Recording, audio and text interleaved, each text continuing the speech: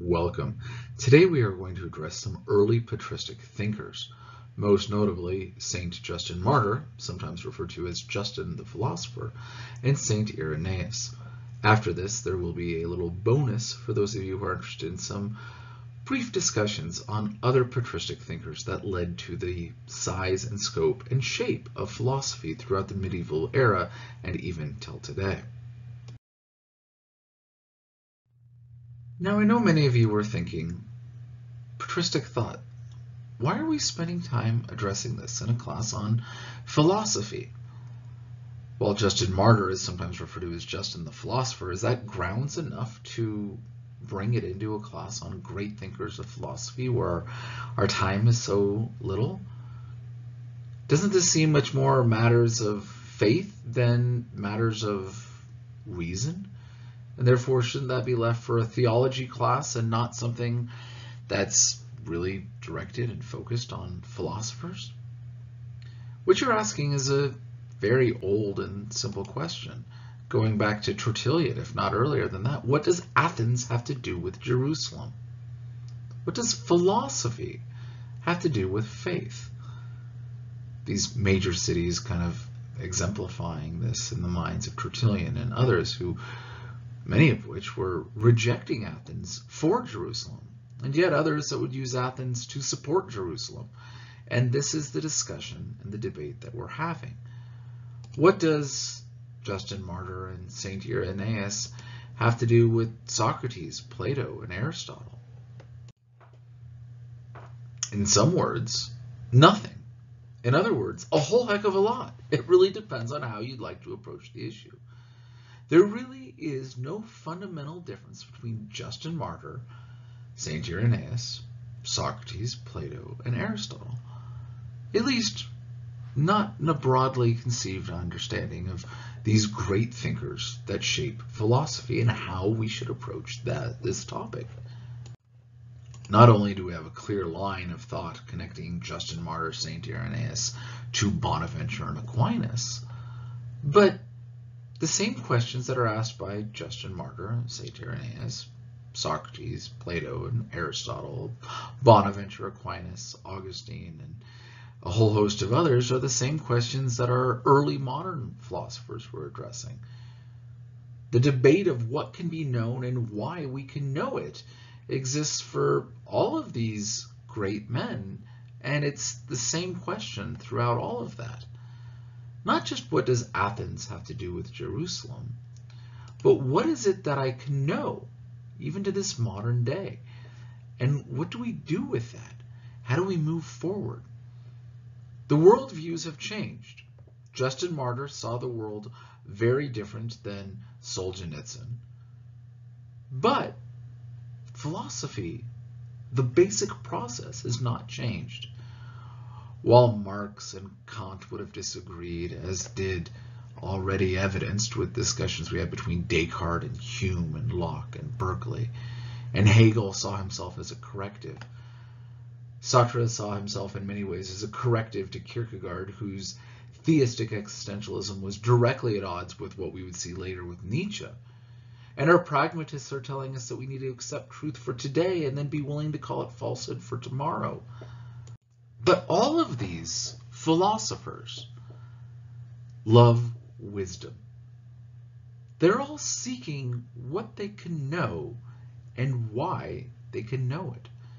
They're all trying to understand the ground to which wisdom can let them move forward. Some of this, the worldview, starts with issues of faith. And the what does Athens have to do with Jerusalem? Athens supports Jerusalem. Others reject the idea of faith at all. Therefore, Jerusalem must make way to Athens. But all of them are doing the same thought project.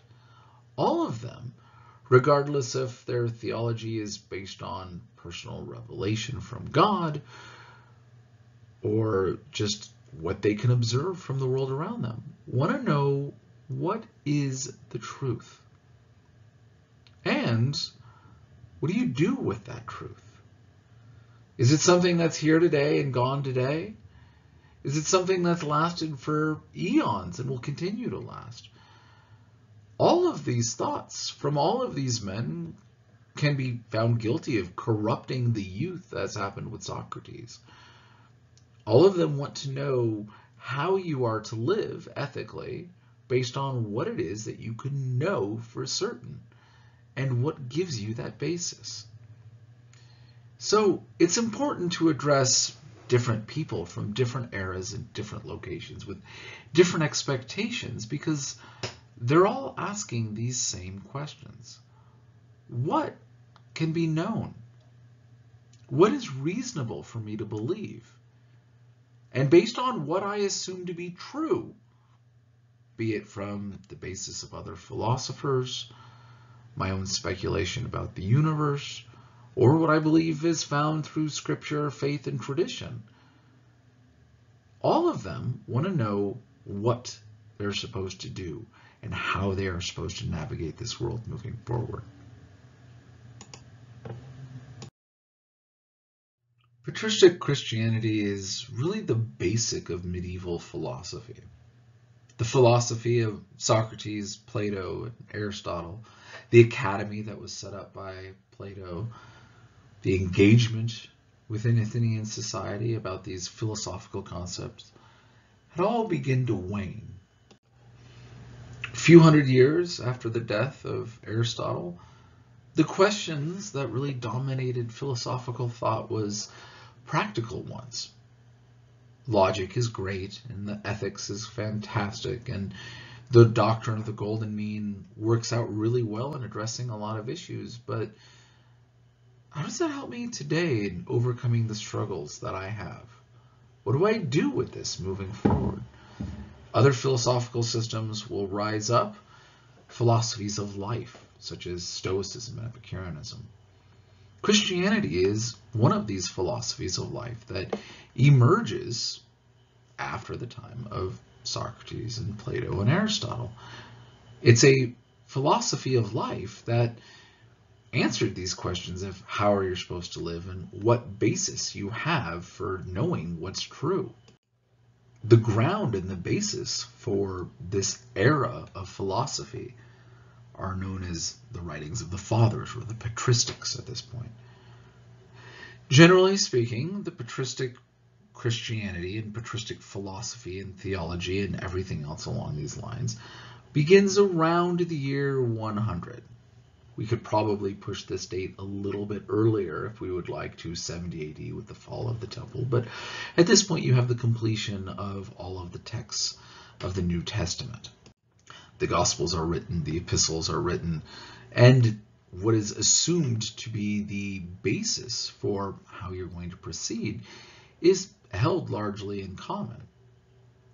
The era of the patristics sometimes ends with the Fourth Ecumenical Council, that of Chalcedon in 451, or some will push it back into the 8th century larger issues arise between the Western Church and a greater division between the East and West starts to form, and that consensus of thought is starting to break down by the 8th century. Again, not on basic theological issues, but practical and pastoral concerns. Relations overall on different halves of the empire start to break down. For instance, Pope Constantine visited Constantinople the very last time in 710 a feat that wasn't repeated again until 1967, or the ending of the last truly ecumenical council of Nicaea in 787, when icons were restored amongst other issues were addressed. By the end of the 8th century, the year 800, Charlemagne is named the new Roman emperor of the new Holy Roman Empire, which really didn't sit well with the emperor of Rome who didn't have Rome but had New Rome, and they viewed themselves as Romans. So the patristic period is definitely done by the year 800. There's other further discussion on divisions of this period, usually those before and after the First Council of Nicaea in 325. You have those which lived before and wrote before, and those who lived after uh, and are in writing largely in response to the debates of the empire in the day and based upon the foundation of what the first broadly ecumenical council, the Council of Nicaea, addressed and laid down as fundamentals of the faith. Other divisions may occur, those who speak Greek and those who speak Latin, divisions and discussions that happen in the East and the West. Some voices ring a little bit louder in one side of the empire than they do in the other. Augustine is far more important in the West than he is in the East.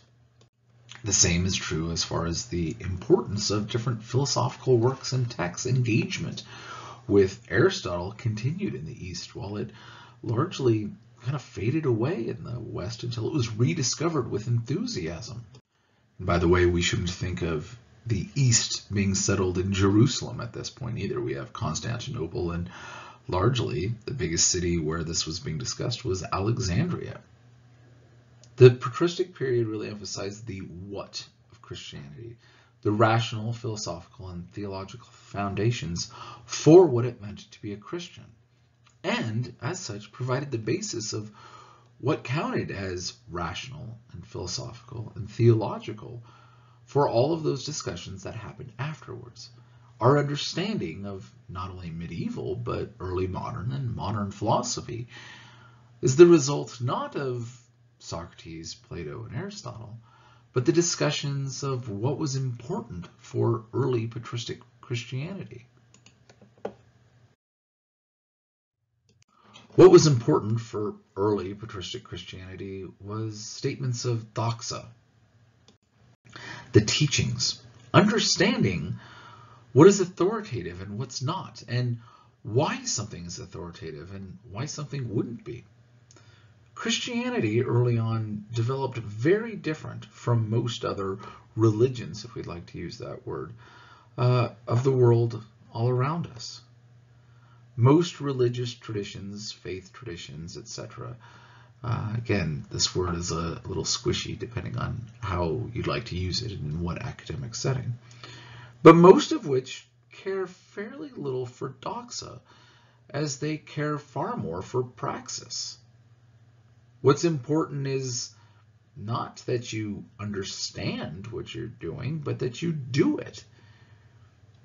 There's not this large debate in the same way that exists within one tradition kind of splintering with another. And at the same time also mediating the broader world all around them. Christianity had this, and so the perseverance and the protection of what was seen as sacred doxa, sacred teachings, was essential for early Christian formation. Even more than anything else, Christianity also held to notions of truth claims. Again, this isn't just the teachings of some important people, but was attached with the idea of the divinity itself. The divine logos, the divine wisdom and teaching is what became embodied and walked amongst them.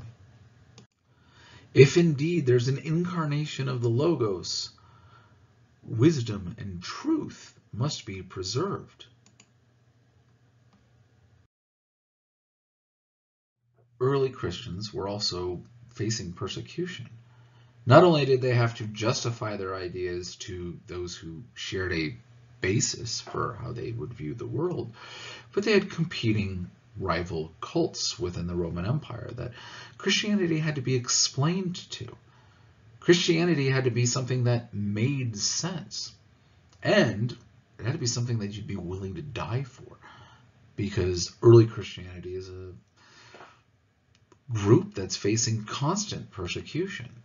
They're largely being persecuted because they don't subscribe to emperor worship. They're not a real religion in the eyes of Rome.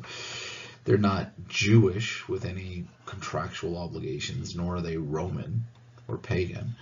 And really, they're not Roman enough for early Roman Empire. They're believed that they're cannibals or engaged in drunkenness or killing babies and drinking their blood, all of which are based on attacks that Christians want to hold the notion of truth over and against, saying, no, no, no, these are not true.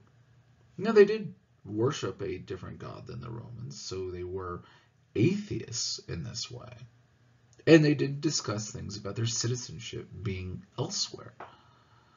They would also proselytize a whole heck of a lot, spreading this word, and would often use the cause of their martyrdom as the center stage to spread this message. Some of which will emerge as confessors uh, of the faith and survive, some of which will die, but all of which are trying to address how what they believe is real and rational and is worth the sacrifice that they are undergoing. The greatest of these early Christian martyrs was none other than Justin Martyr. The name indicates his fate and, and his role there. He's also referred to sometimes as Justin the philosopher, which should help us understand the connection that he has to philosophy. He was born around the year 100 AD, had Greek parents, and lived in Flavia Neapolis. This happens to be a city in northern Palestine, which had plenty of Jews and Greeks all around, and Christianity was growing and spreading during his life. But he was a good Greek. He studied Greek philosophy. He really liked the arguments of Plato and was engaged in Platonic thought. Once, while upon the seashore in solitude, he came upon an old man. We don't know anything more than the fact that he was an old man. And they struck up a conversation. And Justin was talking about how much he enjoyed Plato. And the old man said, Have you encountered the prophets of the Old Testament who foretold about Christ? And Justin said, No. I have no clue what you're talking about. He's a young man in his late 20s at this point, uh, and begins to do some study. Begins to look through the Old Testament scriptures and New Testament claims and converts over to Christianity, not because it's an issue of faith, but because he saw this as rational and an expression of true philosophy. He did this at about the age of 30. He believed that he could hold both Christianity and philosophy together, and that Christianity was itself the true philosophy. He will spend the rest of his life as an apologist, writing to pagans and Jews for the next 35 or so years, explaining that Christianity is indeed true philosophy. One of his more famous discussions was his dialogue to Hepa the Jew, uh, and this discussion was addressed trying to show the rationality of Christianity to a Jewish audience and tried to demonstrate this connection to the Old Testament. The other works he has are addressed to Greeks and trying to preserve or define or defend Christianity as an apologist, as a philosopher, as somebody who's loving wisdom and what he saw to be true.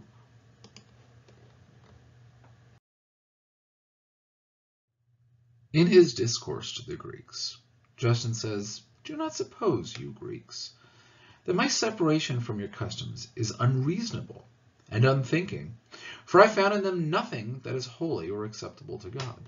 Now we should notice at the very beginning here, his discussion starts off with what is reasonable or the practice of somebody who's a thinking person. This is the basis for why he's going to defend what he defends, argue what he wants to support, because he believes that it is reasonable and therefore the rational thing for any thinking person to do. Says, anyone who becomes a scholar of your most eminent instructor is more beset by difficulties than all men besides. Who is this instructor? It's not Socrates, it's not Plato, it's not Aristotle but largely is the works of Homer. the culture that the Greeks practice is one that follows the writings of Homer, the Iliad, the Odyssey, etc. He says, Of such virtue I am not covetous, that I should believe in these myths of Homer. Your public assemblies, he says, I have come to hate. Why? Why does he hate their public assemblies? As you read this work, you see he says, because they're not logical. They're not consistent.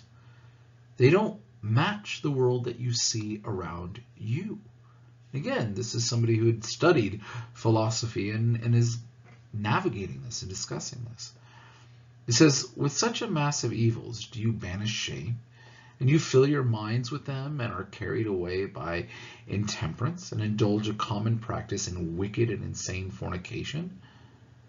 Your actions don't show temperance, yet what do you see as far as the major philosophies that are circulating amongst the Greeks? You're either engaged in the revelry that he is attacking here, or, or you advocate for notions of temperance, as does the Stoics and Epicureans. And he says, then you fail to do your dignity. Your duty to be temperate is gone. The dignity that you have in being man is gone. He then pushes on and attacks the dignity of the Greek gods themselves. He says, and this further I would say to you, why are you, being a Greek, indignant of your son when he imitates Jupiter, and rises against you and defrauds you of your own wife? And if you look at the things that the gods did, they're reprehensible. And these are the kings of the gods. These are people that you theoretically should want to emulate. And yet, if any of your sons were to do what your gods are doing, he says, then you would feel shamed and be upset about this. Why do you count him your enemy and yet worship one that is like him? And why do you blame your wife for living in unchastity and yet honor Venus with shrines? If indeed these things had been related by others, they would have been seen to be mere scandalous accusations and not truth. Right? The, the very basis and foundation for your religious life is scandal. It's not based on truth or reason. And it's not something that you'd want emulated. But now, he says, your own poets sing these things, and your histories noisily publish them. We are called to be rational creatures, and Greek myths are not rational. Christianity is. Here we see his work as an apologist at the very beginning. Look, look what you're doing. Is this rational? Is this consistent with what you yourself expect to see of the world? And if it's not, then isn't it your duty to abandon it for something else? It For our own ruler, the divine word, who even now constantly aids us, does not desire strength of body and beauty of feature, nor yet the high spirit of earth's nobility, but a pure soul fortified by holiness and the watchwords of our King, holy actions, for through the word power passes into the soul. If you want true power, it's going to be found within holiness, is what Justin's advocating. Furthermore, speaking to the issues of those passions, those natures that you find within yourself, which push and pull you one way or the other, these things that are contrary, or at least make the virtues difficult. Justin says, the word drives the fearful passions of our sensual nature from the very recesses of our soul. You want a philosophy that's going to address the issues of life, once again, look to Christianity, not Epicurus or Stoicism. First, driving forth lust, through which every ill is begotten, hatred, strife, envy, emulations, anger, and the such. Lust being once banished, the soul becomes calm and serene, and being set free from the ills in which it has sunk up to the neck, it returns to him who made it. For it is a fit that is to be restored to that state, once it is departed, once every soul was or is. That the issues of what we're wanting and what our desires are, is only going to be found with a philosophy of life that adequately addresses the roots of these passions and is going to help you get rid of them. In his first apology, he is now not speaking to the vast majority of Greeks, as he did in his discourse to the Greeks, but specifically to the Roman emperor, to Titus. And he says to Titus, and also to his son Verissimus, the philosopher, and to Lucius, the philosopher. Right? Again, he's trying to address philosophers as a philosopher, as this basis for his apology, right? He's giving a defense for what he believes.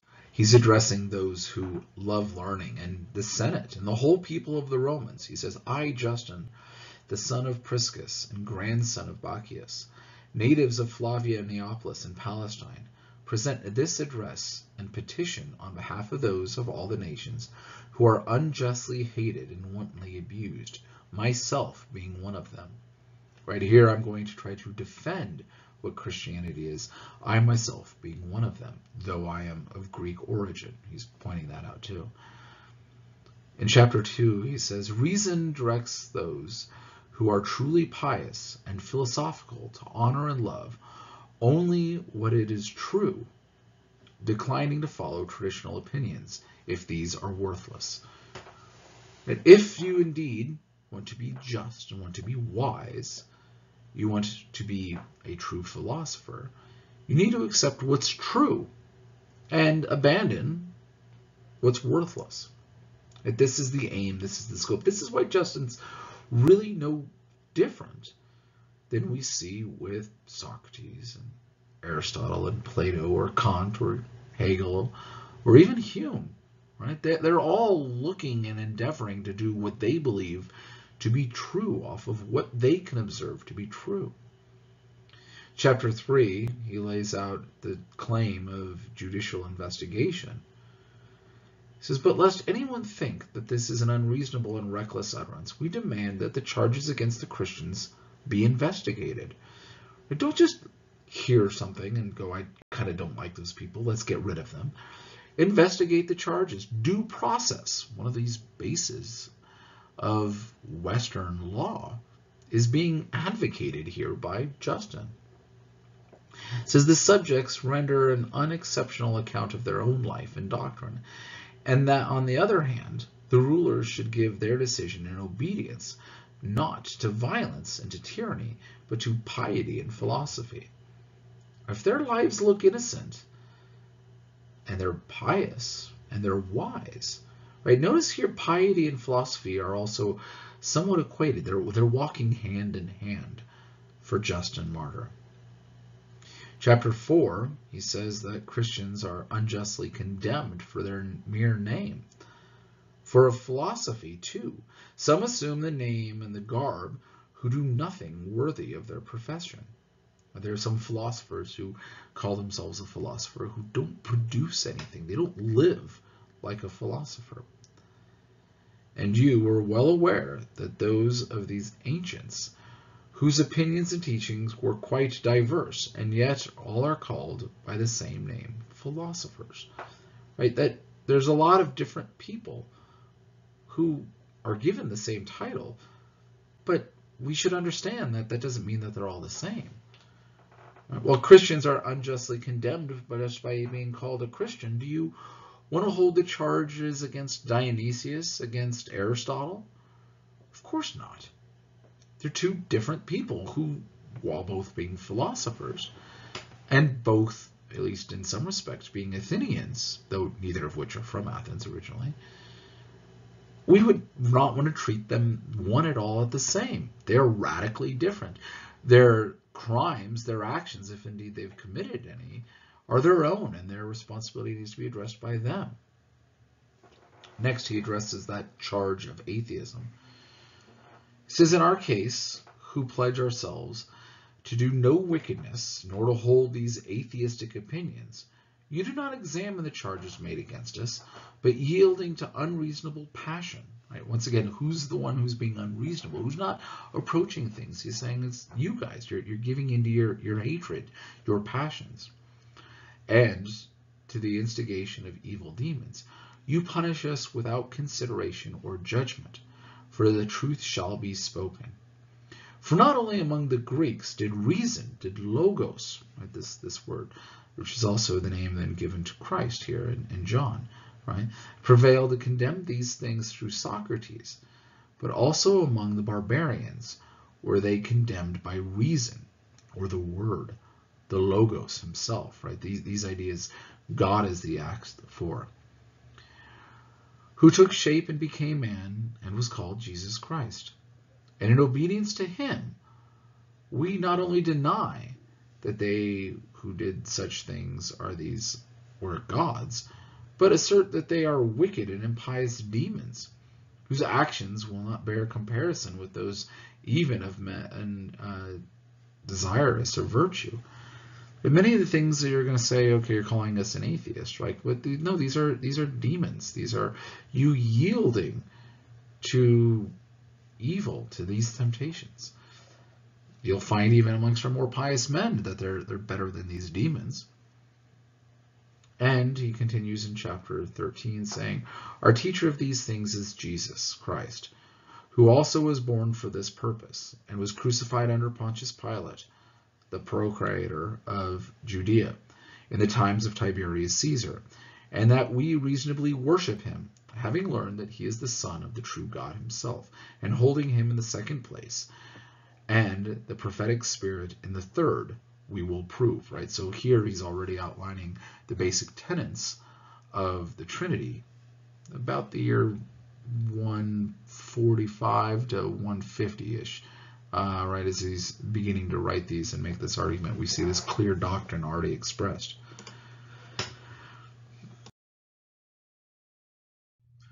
Justin, being an apologist, is trying to examine and understand and explain the relationship between different schools of thought, between his worldview and the Romans that he's writing in his first apology.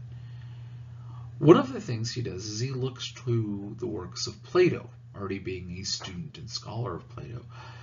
He's trying to relate Plato then with the understandings that he has found within Christianity and how he sees this as a fulfillment of the works and understandings of Plato, let alone others. He mentions Plato. He says Plato in this place uh, mentions that he placed him crosswise in the universe.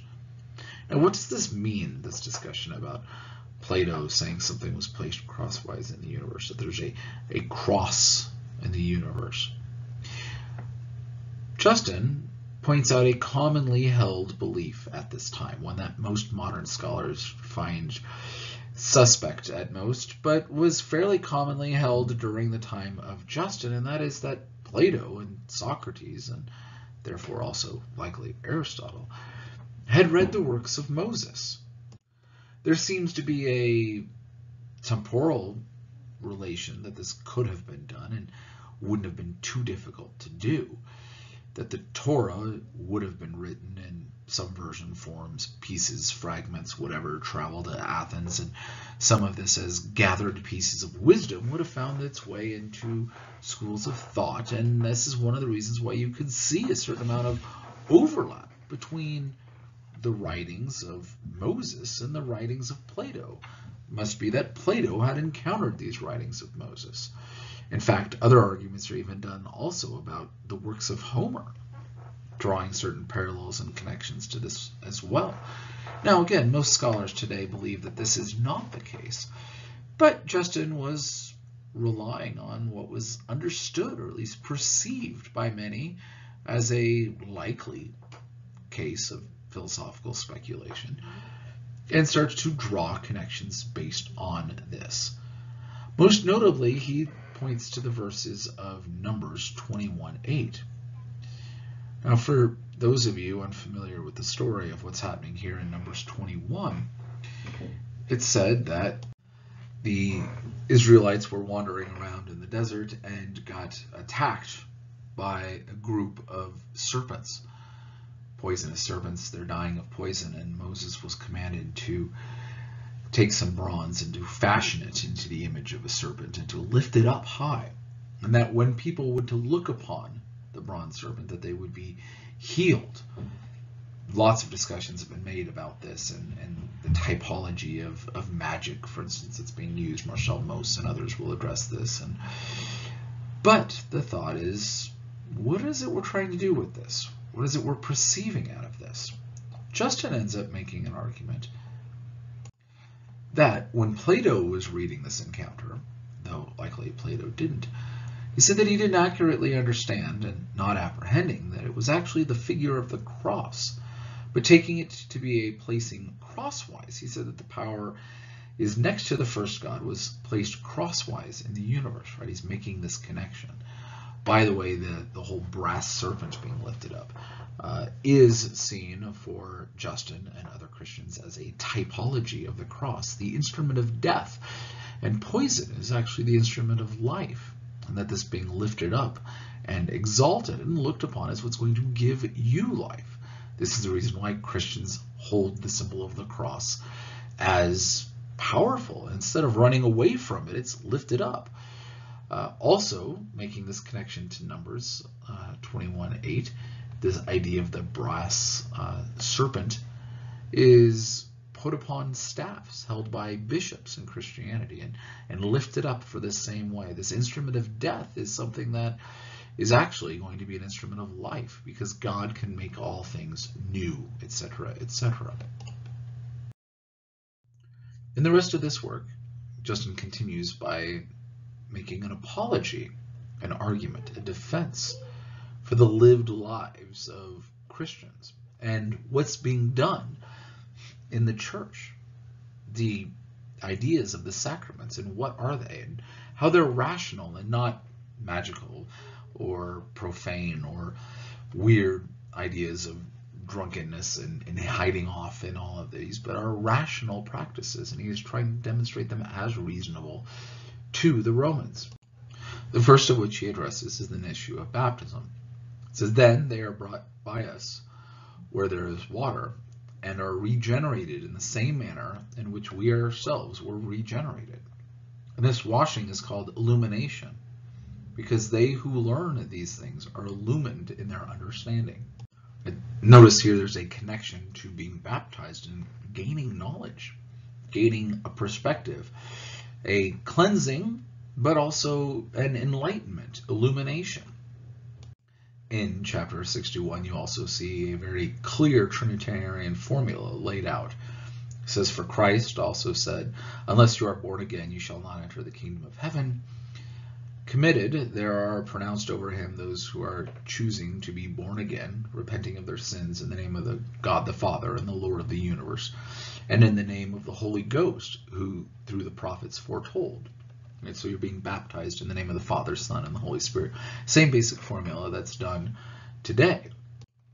Following this, he continues in chapter 65, says, There is then brought to the president of the brethren bread and a cup of wine mixed with water, and he taking them gives praise and glory to the Father of the universe through the name of the Son and the Holy Ghost. Once again, this basic Trinitarian formula. And offers thanks at considerable length for our being counted worthy to receive these things from his hands. This word amen also is used, meaning so be it. So he explains even this word that's being said in the middle of this, this amen, and what does this mean? So be it. Indeed, these, these sorts of ideas being added onto it. And this food what is this food? Again, this bread and wine and water. He said it's called among us the Eucharist, of which no one is allowed to partake, but the man and women and children who believes that these things which we teach are true, and who has been washed with the washing that is of the remission of sins and under regeneration, who is so living as Christ has enjoyed. For not as common bread and not common drink do we receive this. But in like manner as Jesus Christ our Savior, having been made flesh by the word of God, has both flesh and blood for our salvation. So likewise have we been taught that the food which is blessed by the prayer of his word, and from which our blood and flesh by transmutation are nourished is the flesh and blood of that Jesus who was made flesh. So of the Eucharist, he says, okay, so it's bread and wine and water, but it's not bread, wine, and water. Right? Not as common bread and not as common drink do we receive this, but as the body and blood of Christ. The doctrine of the real presence is affirmed here and explained how this is happening to the Romans as well. Continuing on in chapter 67, he addresses when this is done. It says, But Sunday is the day on which we hold our common assembly, it is the first day on which God, having wrought a change in the darkness of and matter, made the world. And Jesus Christ, our Savior, on the same day rose from the dead. That it is the first day of the week that this is going to be done. This is a special holding of all of this. This is the practice that's being done by those who are baptized, receiving the Eucharist. And he concludes in chapter 68. And if these things seem to you to be reasonable and true, honor them. But if they seem nonsensical, despise them as nonsense. And do not decree death against those who have done no wrong, as you would against enemies. And he goes back, and at the very end, he says, okay, this is what we're doing. The mystery, as it were, is, is laid bare. Is this reasonable? I think it's reasonable. I've made an argument that it's reasonable. I've explained why we're doing what we're doing. And if you don't find it reasonable, is it immoral? Is it worthy of death? No, it's not. Therefore, leave us alone. And this is the argument that's being made at this point by Justin. This is what philosophy does. Let's engage in these ideas. Let's understand them more. If I find an idea worthy of ridicule or humiliation, let me understand it and then ridicule it and humiliate it. But that doesn't mean that the person who's saying it deserves death, deserves a punishment, even if it's an idea that I find abhorrent or laughable. It still needs to be engaged in the realm of philosophy, in the realm of ideas. Unless an act of violence is being done, there's no reason to respond with violence.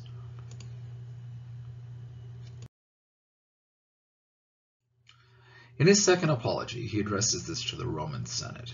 And I'll just highlight a few things here, primarily chapters 10 and 15.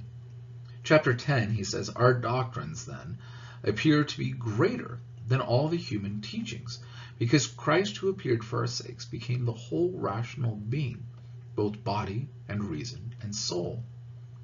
And Socrates, who was more zealous in this direction than all of them, was accused of the very same crimes as ourselves. And he, he's making a, an equation between Socrates and early Christians, right? Socrates was being attacked for made-up charges, etc., and, and corrupting the youth and not believing in some of the gods. Well, that's the same thing that we're being charged with, right? For no one trusted in Socrates so as to die for his doctrine, but in Christ, who is partially known even by Socrates. Now I know immediately you're going to quick pause here. What are you talking about, Justin?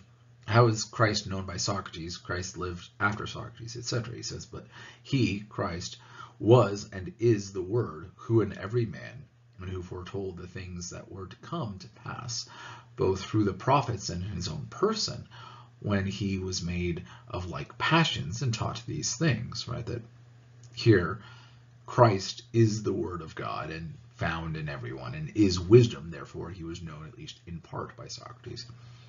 Not only philosophers and scholars believed, but also artisans and people entirely uneducated, despising both glory and fear and death, since he is a power of the ineffable Father, not the mere instrument of human reason.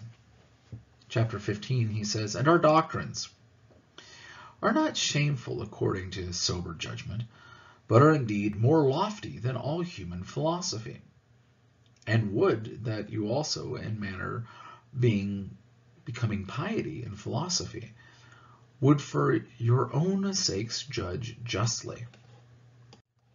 In other words, hey Senate, what we're teaching isn't so crazy. It's basic philosophy. It's about following after the wisdom and truth and has been taken on by philosophers, but also other people, other scholars, artisans, and the mass of humanity are all taking on this doctrine, this idea. And there's power in it. But it's not just an instrument of reason, that there's more to this. This is a philosophy of life and the philosophy of life, according to Justin Martyr. In other words, Justin concludes throughout his apologies and his dialogues that Christianity is true because it's reasonable. It's philosophy, it's true love of wisdom because true wisdom is found in Christ and therefore true Christianity and true philosophy are one and the same, that they're wedded together. It should come as no surprise that throughout the medieval era, let alone afterwards, that there's this union of what it is to be Christian is what it is to be reasonable.